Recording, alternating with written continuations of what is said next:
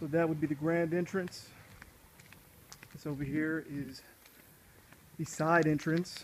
Also, uh, the side right here could be used as a in-house office. It Has its own entrance.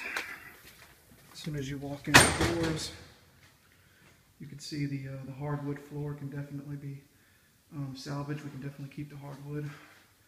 Have the arch you're walking in.